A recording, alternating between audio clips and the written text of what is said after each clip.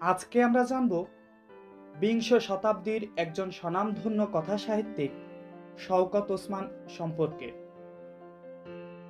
শওকত ওসমান উনিশশো সতেরো সালের দোসরা জানুয়ারি পশ্চিমবঙ্গের হুগলির খানাকুল থানার সবল সিংহপুর গ্রামে জন্মগ্রহণ করেন। ওই স্কুল কলেজে যে তারিখ সেটাই এখন জন্ম তারিখ হয়ে গেছে। সত্য কথা বলতে কি? জন্মেছিলাম অবিভক্ত বঙ্গদেশে পশ্চিমবঙ্গে হুগলি জেলায় গ্রামের নাম সবল সিংহপুর একই দিনে, অর্থাৎ উনিশশো সতেরো সালের দোসরা জানুয়ারি, পঞ্চাশ দশকের অন্যতম প্রধান আধুনিক কবি আহসান হাবিব পিরোজপুরের শঙ্করপাশা গ্রামে জন্মগ্রহণ করেন। তাদের আরেকটি বড় পরিচয় হল রুশ বিপ্লবের বছর উনিশশো সতেরোতে জন্ম বাঙালি কথাকার শওকত ওসমান ও কবি আহসান হাবিবের। শওকত ওসমান ছাড়াও পশ্চিমবঙ্গের হুগলি জেলায় আরও কয়েকজন বাঙালি মনীষী জন্মগ্রহণ করেন। তাদের মধ্যে উল্লেখযোগ্য হল রাজা রামমোহন রায়, শরৎচন্দ্র চট্টোপাধ্যায়, রঙ্গলাল বন্দ্যোপাধ্যায়, অমিয় চক্রবর্তী এবং হাজি মুহাম্মদ মোহসেন। শওকত ওসমানের পিতা শেখ মোহাম্মদ ইয়াহিয়া ছিলেন সামান্য একজন কৃষক। মাতার নাম গুলজান বেগম।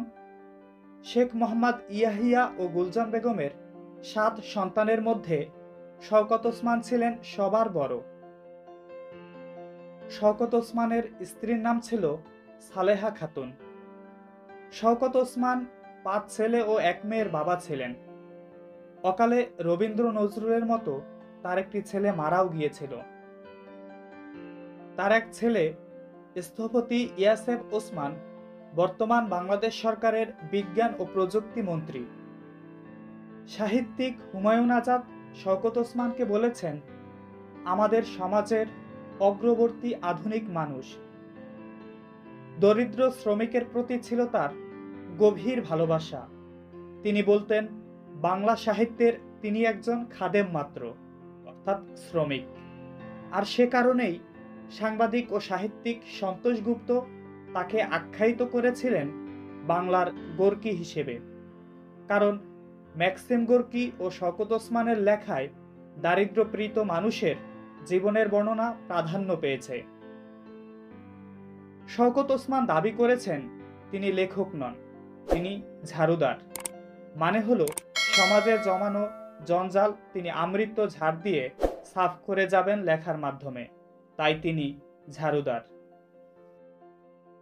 তিনি পড়াশোনা করেছেন মক্তব, মাদ্রাসা, কলেজ ও কলকাতা বিশ্ববিদ্যালয়ে।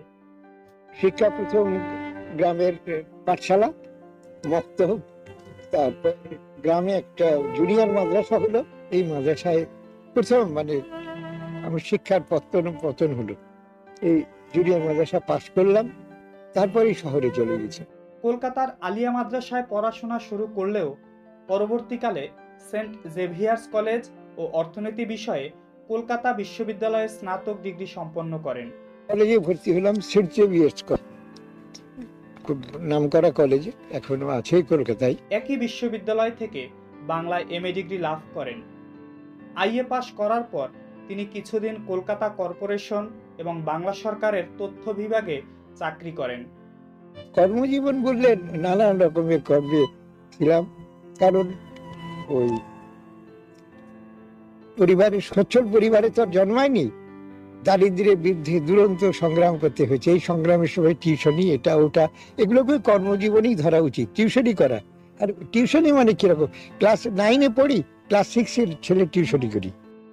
এমএ পাশ করার পর উনিশশো একচল্লিশ সালে তিনি কলকাতার গভর্নমেন্ট কমার্শিয়াল কলেজে লেকচারার পদে নিযুক্ত হন। উনিশশো সাতচল্লিশ সালে তিনি চট্টগ্রাম কলেজ অফ কমার্সে যোগ দেন এবং উনিশশো আটান্ন সাল থেকে ঢাকা কলেজে অধ্যাপনা করেন। উনিশশো বাহাত্তর সালে তিনি স্বেচ্ছায় অবসরে যান। চাকরি জীবনের প্রথম দিকে কিছুদিন তিনি কৃষক পত্রিকায় সাংবাদিকতাও করেন। উনিশশো সাতচল্লিশ সালে দেশ ভাগের পর তিনি চলে আসেন তৎকালীন পূর্ববঙ্গে। শওকত ওসমান প্রায় শতাধিক গ্রন্থের স্রষ্টা।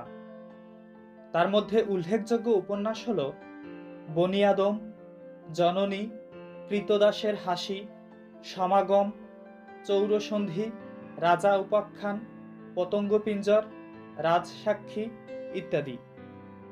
এছাড়াও চারটি বিখ্যাত মুক্তিযুদ্ধ ভিত্তিক উপন্যাস রচনা করেছেন শওকত ওসমান। সেগুলো হলো জাহান্নাম হইতে বিদায়, দুই সৈনিক, নেকড়ে অরণ্য, জলাঙ্গি। তার মুক্তিযুদ্ধ ভিত্তিক উপন্যাসগুলোকে আমরা এভাবে মনে রাখতে পারি। জাহান্নাম হইতে বিদায়, দুই সৈনিক, নেকড়ে অরণ্যের জঙ্গলে পড়ে। বনি আদম উনিশশো ছেচল্লিশ সালে দৈনিক আজাদের সাহিত্য সাময়িকীতে এটি প্রকাশিত হয়।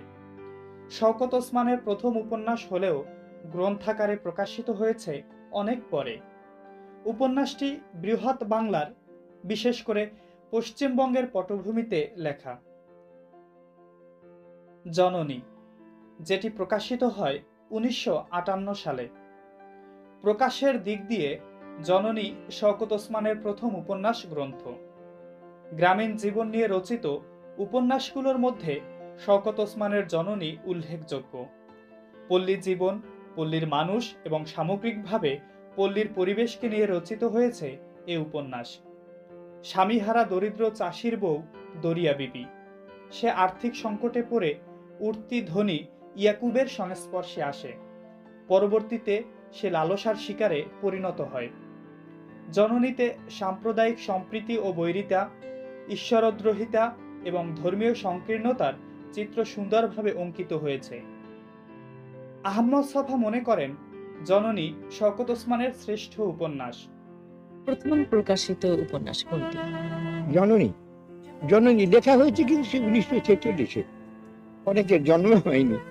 তখন উনিশশো ছেচল্লিশ সনে লেখা মানে পঞ্চাশ বছর, কিন্তু জননী আছে এবং শুধু জননী আছে না, জননী ইউরোপে গেছে। এবং আমার জীবনের শ্রেষ্ঠ কৃতিত্ব আমি মনে করি যে, যখন পাবলিশার দিয়ে লেখা হলো যে, আমরা এই অরিজিনাল নাম রাখতে চাই, তর্জমা করা নাম নয়, তারা রাজি হলো। এই জন্য জননী নামেই বেরিয়েছে ইউরোপে। এবং খুব বিখ্যাত পাবলিশার হাইনিম্যান, এরাই বের করেছে এই উপন্যাস। উল্লেখ্য যে মানিক বন্দ্যোপাধ্যায়েরও প্রথম উপন্যাস জননী। কৃতদাসের হাসি যেটা প্রকাশিত হয় উনিশশো বাষট্টি সালে। অনেকের মতে কৃতদাসের হাসি শওকত ওসমানের শ্রেষ্ঠ উপন্যাস। এটি একটি প্রতীকাশ্রয়ী উপন্যাস। কৃতদাসের হাসি উপন্যাস আহ, মনে চমৎকার উপন্যাস বলেছেন। কিন্তু এটা চমৎকার কেলেঙ্কারিও। কারণ এখন মানে আমি এডিশনের কলকাতার থেকেও এডিশন হয়েছে তার ভূমিকাটা বলেছি আর এখন তো সবাই জানে বলেছি যে তখন আট কোটি এরকম লোক সংখ্যা ছিল সিক্সটি বাষট্টি সালে এই আট কোটি এই দেশের অধিবাসীদের পক্ষে হয়ে আমি ওই সামরিক শাসনের মুখে থুতু দিয়েছিলাম। কৃতদাসের হাসি উপন্যাসের সারসংক্ষেপ এরকম। বাগদাদের বাদশাহ হারুনর রশিদ অত্যাচারী। সে কৃতদাস তাতারি ও বাদী মেহেরজানের প্রণয়ে বাধা সৃষ্টি করে এবং তাতারিকে গৃহবন্দী ও অত্যাচার করে। তাতারি আমৃত্যু বাদশাহ হারুনের নির্যাতনের প্রতিবাদ করে যায়। এখানে তাতারি বাঙালি জনতার এবং বাদশাহ হারুন আইয়ুব খানের প্রতীক। উপন্যাসের শেষাংশে তাতারির একটি বিখ্যাত সংলাপ হলো এরকম দীর্হাম দৌলত দিয়ে কৃতদাস গোলাম কেনা চলে। কিন্তু কিন্তু কৃতদাসের হাসি না না না না। উনিশশো ছেষট্টি সালে এই উপন্যাসের জন্য শকত ওসমান আদমজি সাহিত্য পুরস্কার লাভ করেন। এই উপন্যাসের ইংরেজি অনুবাদ করেন কবির চৌধুরী, যার নাম দেন a laughter of a slave. জাহান্নাম হইতে বিদায়, যেটা প্রকাশিত হয় উনিশশো একাত্তর সালে। শওকত ওসমানের জাহান্নাম হইতে বিদায়, মুক্তিযুদ্ধের প্রথম উপন্যাস। রাজ সাক্ষী। আদম পাচারের অপরাধে অভিযুক্ত, বিচারাধীন আসামির জবানিতে বর্ণিত হয়েছে কাহিনী এবং চিত্রিত হয়েছে আদালতে তাদের বিচার পর্ব। এই উপন্যাসটির ইংরেজি অনুবাদ, দ্য স্টেট উইটনেস, যেটা লন্ডনের রুচিশীল প্রকাশনা সংস্থা পিপালট্রি কর্তৃক প্রকাশিত হয়। আরও একটা ইংরেজি উপন্যাস বেরিয়েছে ইংরেজি রাজসাক্ষী উপন্যাসের। ইংরেজি তর্জমা হয়েছে ছোট পাবলিশার খুব বড় নাম করা পাবলিশার নয় কিন্তু ওটাও বেরিয়েছে দি স্টেট উইটনেস।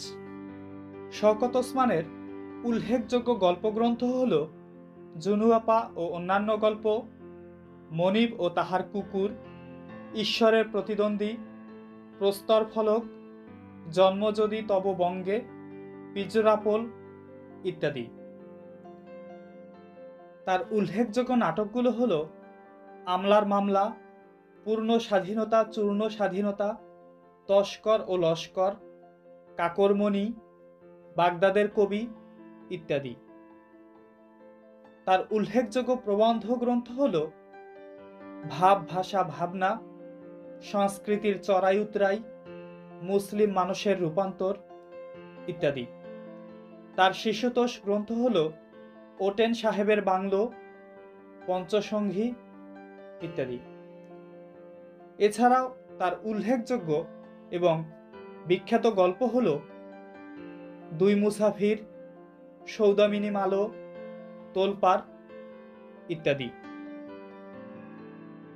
সাহিত্য ও সংস্কৃতিতে বিশেষ অবদানের জন্য শওকত ওসমান বহু পুরস্কারে ভূষিত হয়েছেন। তার মধ্যে উল্লেখযোগ্য হল উনিশশো বাষট্টি সালে বাংলা একাডেমি পুরস্কার, উনিশশো ছেষট্টি সালে কৃতদাসের হাসি উপন্যাসের জন্য পাকিস্তান সরকারের অন্যতম শ্রেষ্ঠ আদমজি সাহিত্য পুরস্কার, উনিশশো তিরাশি সালে বাংলাদেশ সরকারের সর্বোচ্চ একুশে পদক, উনিশশো একানব্বই সালে মুক্তধারা সাহিত্য পুরস্কার, উনিশশো একানব্বই সালে ঈশ্বরের প্রতিদ্বন্দ্বী গ্রন্থের জন্য ফিলিপস পুরস্কার উনিশশো সাতানব্বই সালে স্বাধীনতা পুরস্কার লাভ করেন। জীবনের একেবারে শেষ দিকে শওকত ওসমান লেখা শুরু করেন আত্মজীবনী রাহানামা। এটি শেষ করার জন্য গভীর রাত পর্যন্ত জেগে লিখতেন তিনি। তবে উনিশশো আটানব্বই সালের উনত্রিশে মার্চ তিনি হঠাৎই সেরিব্রাল অ্যাটাকে আক্রান্ত হয়ে পড়েন। এর ফলে তিনি একেবারেই হারিয়ে ফেললেন তার লেখালেখির ক্ষমতা। ফলে রাহানামা রচনা অসমাপ্ত থেকে যায়। আর এই অসুখের সঙ্গে লড়াই করে উনিশশো আটানব্বই সালের চোদ্দই মে সকালে ঢাকায় পৃথিবী থেকে চিরবিদায় নেন সাহিত্যের এই মহান কারিগর।